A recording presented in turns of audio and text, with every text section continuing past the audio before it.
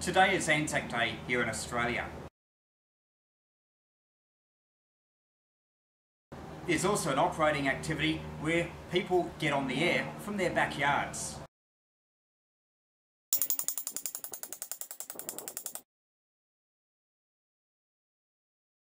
The antenna is 20 metres of wire. I'll be using it as an end-fed half wave on 40 metres and maybe other bands.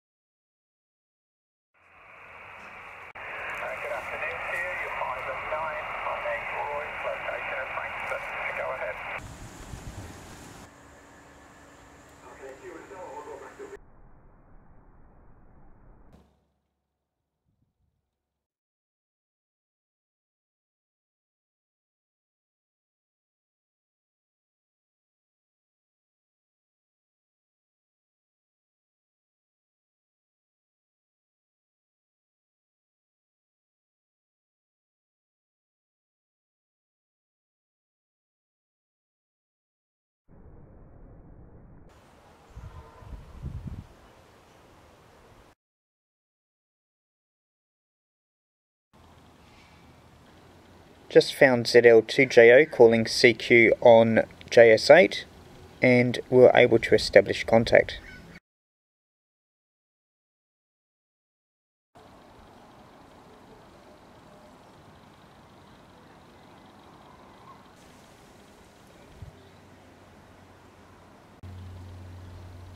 Conditions have faded out, so I'll try a new feature of JS8 and that is a slow mode which I'll use to send 73.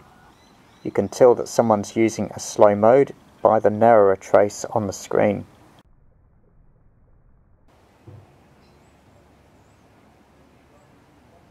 There's also some higher speed modes which I have yet to use, but they're promising when conditions are good. I've only just learnt with JS8 that if there's a star next to the other station's call sign, it means they can receive you as well as you receiving them. Another thing that's handy is there's a CQ timer, so you can set it automatically calling CQ.